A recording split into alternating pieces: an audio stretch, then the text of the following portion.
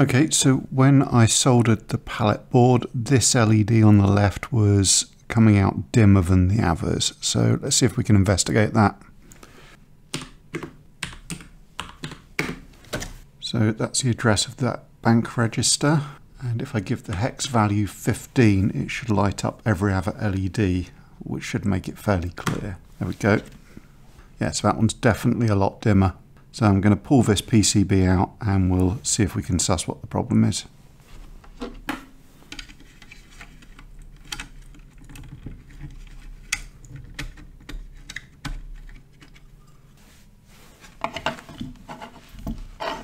Let's have a look at this.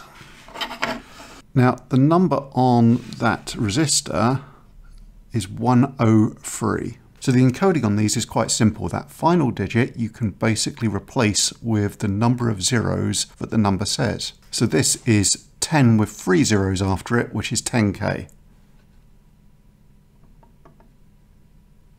Let's see how I can get rid of this.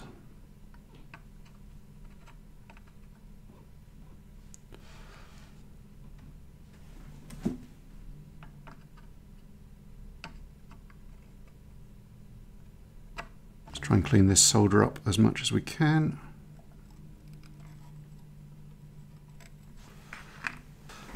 Now, I've got reels of the resistors I use a lot, but I use one of these sample books for ones I use less frequently.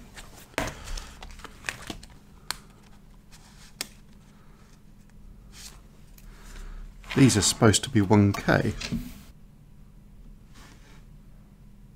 but they are not. They are 10k.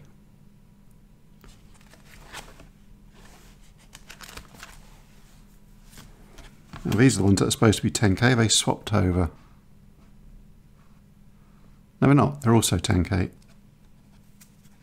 Okay, so I've actually got an incorrect resistor there.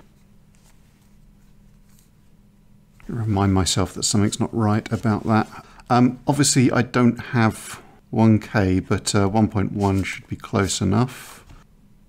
That is indeed 1.1k.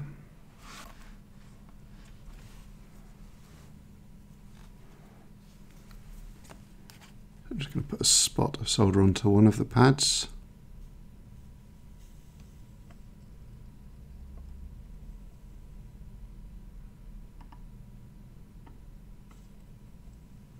I need a bit more solder on there.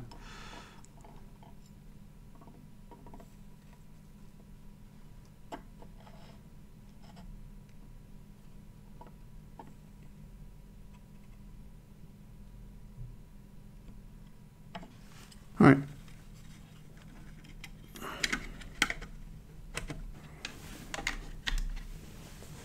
Oh, these things always initialize with a random value in them, and we can see there that all the LEDs are working fine.